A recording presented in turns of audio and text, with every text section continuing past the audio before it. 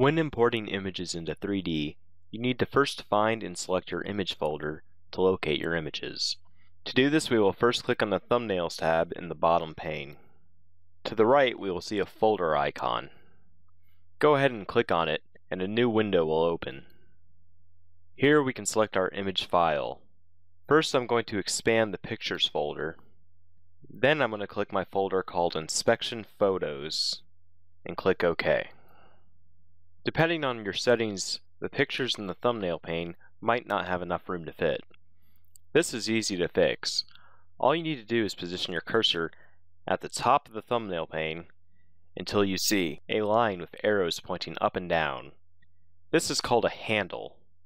Click and drag the handle until the bottom pane is up as high as desired.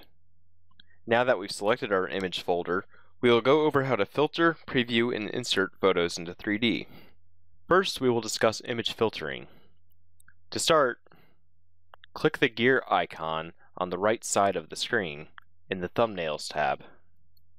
You'll notice that Show Imported Images is already checkmarked by default. If you remove the checkmark from Show Imported Images, we will only see images that have not already been imported into 3D from the picture folder that is selected. I'm going to remove the checkmark by clicking on it. Now that we've removed the checkmark from Show Imported Images, as we add photos they will be removed from the thumbnails pane due to the filter. Go ahead and select an image, and then click on the Import button to see an example of this.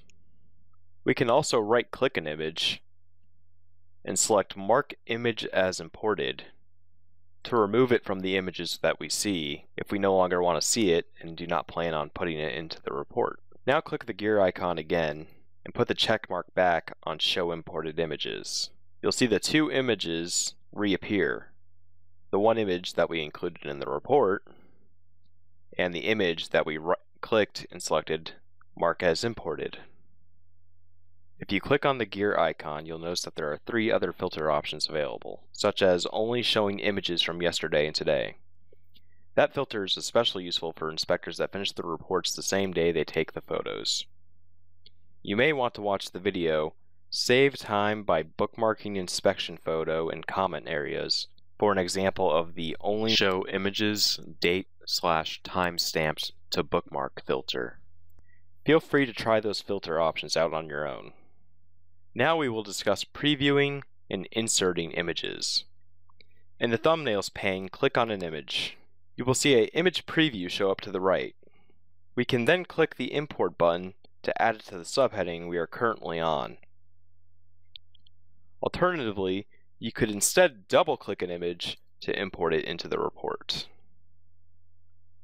We can also edit images as we import them by using the Import and Edit button once you've finished editing your image, click on Save and Close to add it to the report.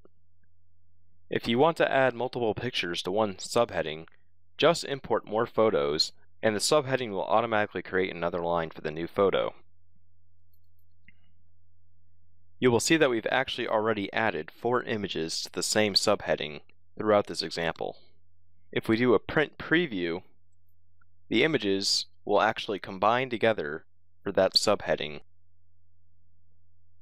For more on inserting multiple images, check out our video on inserting multiple images.